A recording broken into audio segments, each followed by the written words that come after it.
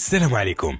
هذا المنتوج اللي كتشوفوه وهذا وهذا وهذا وهذا ديال التجميل.